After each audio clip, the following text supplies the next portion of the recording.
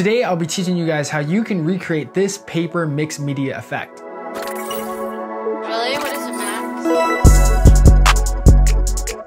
Guys, my name is Devin Huynh, welcome to 11% Tutorial. For this tutorial, we'll be going over the super popular mixed media paper rip effect that's used a lot in music videos, and it overall just helps create texture and a real gritty feel to your projects and your work. But first off, I just wanna give a big shout out to Creative Flow YouTube channel. We'll be using his mixed media paper effect to recreate the effects in this tutorial. His pack is linked down below in the description, and please definitely go check out his work and all his tutorials. He's got some really great stuff. To recreate this effect, actually all you'll be needing is Premiere Pro. For those of you who would actually like a more personal and custom paper feel to your music videos, I'll actually show you real quick how you can actually make your own paper presets and effects. All you'll need to recreate these overlays is some paper and a good camera. You also want to shoot these in a dark and well lit area. What you're gonna do is crumple up and wrinkle up some of the paper, give some rips to some other ones, and use an X-Acto knife and cut out some shapes and squares that you might want in an overlay. Take a bunch of pictures and subtly move the papers in between to create a stop motion and frame by frame feel to it. Then once you're done with that, compile all your pictures together in a 12 frame per second video, and boom, there you have your own paper overlays. But before we get started, if you guys could smash the like button and subscribe if you like this video. It's free, all this content is free, so it really, really mean a lot. But without further ado, let's jump right into the tutorial. All right guys, so now that we're finally inside of Premiere Pro, as you can see, I have all of the mixed media creative flow preset packs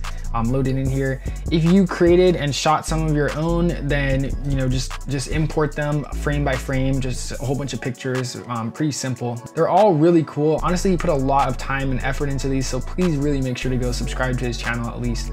So the first thing you're obviously gonna do is just pick out the, the couple overlays that you like. I, I like this split screen one right here and this, this zoom out box one. So now once you have your couple overlays selected, you're just gonna drag them over. I'm just gonna drag them over to this other part of the timeline um, hit sequence and close gap, um, delete the rest. Now we're gonna load in our video clips over here. So I just have some footage right here, um, just pretty much some basic stuff. I like to use this paper effect for the scenes in between music videos. I like to go throughout the footage. So let's say they're walking right here and I will honestly just cut it up at just really, really random points and then just drag it to, to cut together. So then we have these nice little break cuts that just break up the slow pace of the video, but still communicate the story that there is obviously, they're obviously walking somewhere or they're going someplace. And it kind of just makes the video feel a little bit more fast paced. I'm gonna get some shots of them walking. And once we put this all together, you can see we have this nice little fast collage of clips. Now you can even do this alone without any effects in your videos. That's how I used to pretty much do it, but I just found when I use these paper effects combined with this, it just really ties it in all together.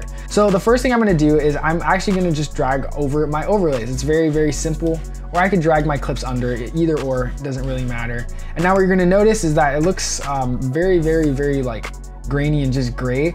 And the first thing that we're gonna do is uh, make sure that you're in, my mode is shift five for all panels. And make sure that you go to the blending mode of all of these layers right here of the, of the overlays and change it to linear dodge add, okay? So that just gets rid of that overly excessive, just extra grain and detail that we honestly don't need. You can click on the opacity under the effects controls, hit Command C to copy it, and then drag and select the other clips, the other overlays, and hit Command V to paste it. And then therefore, um, you can't see it right here, but they it just pasted the blending mode. And if you check, they're all now linear dodge add. So, you know, just saves us that hassle. So you can see now we have these nice little jump cuts and the paper overlay. Now comes time for the fun part, which is the masking. So as you can see, um, this the way this preset is, is made, and it's actually really, really nice the way um, Creative Flow made this, is just how the square kind of zooms in and out. So I actually want a different shot in this square for say, just for my case example. So what I'm gonna do is I'm gonna drag this, this overlay um, up like two layers,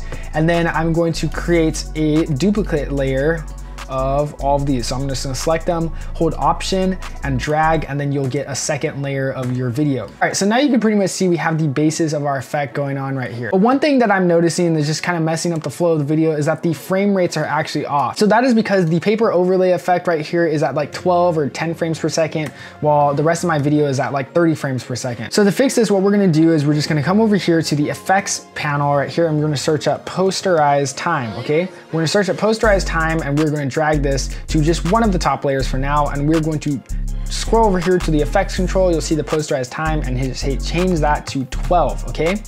So once you hit change that to 12, you'll see we have a lot more choppy feel of the video and it kind of matches the frame rate. I'm gonna click on this layer again. I'm going to select the posterized time and hit Command C to copy this. And then I'm just going to select all of the other clips, select, select, and then I'm just going to hold Command V to paste it. And now you can see um, our Premiere Pro might become a little bit choppy. I could turn off one layer just for better visibility, but it definitely adds that more paper texture feel to it. So what I'm gonna do is I'm first gonna come through all of these top layers right here and I'm just going to zoom in on the scale. So I might just choose a random point wherever that is and just zoom in onto their face. So I'm just gonna zoom into um, this face right here and it honestly doesn't matter where, but you're just pretty much gonna do the same for all these top layers right here. Like right here, I just might zoom in onto his hood, right, hoodie right here and, and watch how that plays out. And I'm just gonna do that for all the top layers. I'm still keeping the bottom layer off right here just so that the visibility and rendering works out. But now what I'm gonna do is I'm going to hit mask, okay?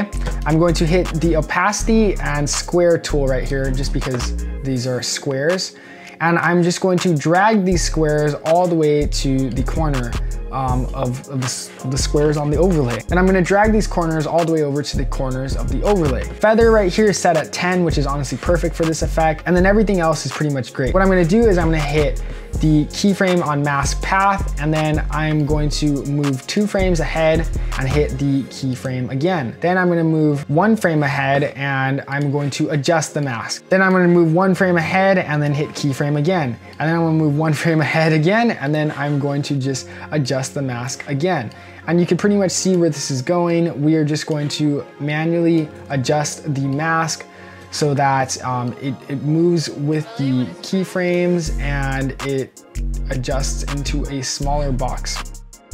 And if you play that back, you can see we have a nice expansionary cutout effect and it just feels really nice and in tune with the video. If you turn on the visibility of the bottom layer, you can see we have this nice layering effect going on right here and they're actually cut out to be that way. I'm gonna go ahead and just pretty much do the same thing for the next layer. I'm going to hit the mask tool right here. I make sure I hit the mask path key and then I'm just gonna move a couple frames forward and see wherever that overlay adjusts to and I'm just gonna adjust the mask. Now, while this can be a bit tedious, it really honestly is the best way to just achieve the best effect. You can just mask it without masking in between to make sure that it maintains the, the stop motion feel to it. So what I mean by that is for say, if at this frame it's masked into this square and then I move two frames ahead and then adjust the mask to the next frame, but without stopping to keyframe and catch that one in between, it might offset and adjust. And you can see we might have some frames right here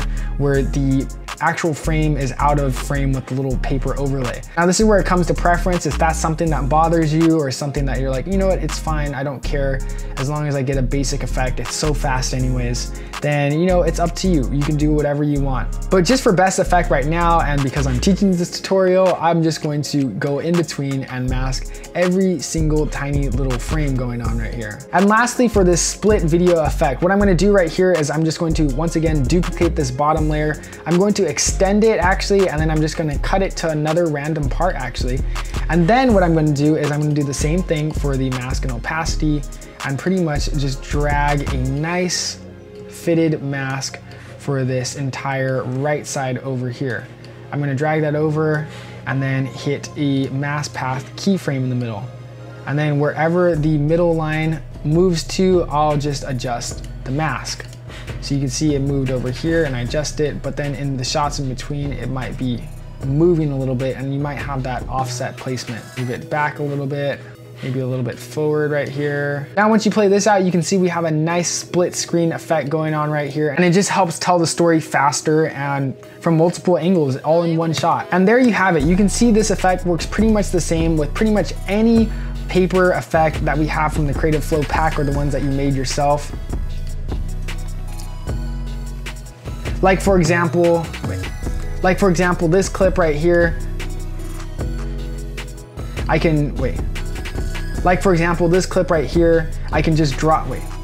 Like for example, this clip right here, I can just drop this paper effect over it and boom, we have a nice paper effect already going on right here. All I have to do is add the posterized time and just change the value to 12 frames per second. And that honestly already looks pretty great to me. For this rip texture effect, what I do is just mask around the circular path and just make different distorted edges just so it has a real actual paper feel to it like you're cutting out and ripping out a collage and turning it into a music video. And given that there's just so many paper options from this pack, which you guys should definitely go cop by the way if you haven't already, it really just makes it super easy to create paper effects like this. And after all this countless masking, here is my final effect.